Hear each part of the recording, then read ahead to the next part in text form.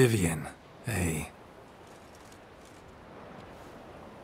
Witcher, uh, so good to see you. How do you feel? No relapse? None. I feel wonderful. You've no idea how relieved I am. I went to see a mummers' play in Pont Vanis, out of doors, and it went on late into the night. And I did not need to flee at dusk. I also attended Baroness de Codel's ball, danced to the break of dawn. What's brought you to Novigrad? I've toured the entire city already. Now I seek a ship to take me to the Skellige Isles.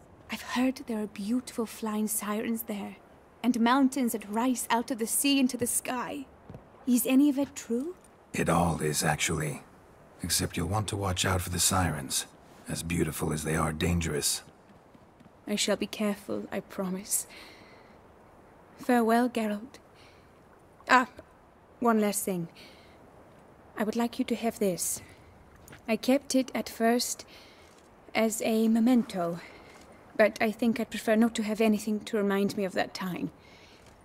Will you take it? Of course. Thank you. And take care.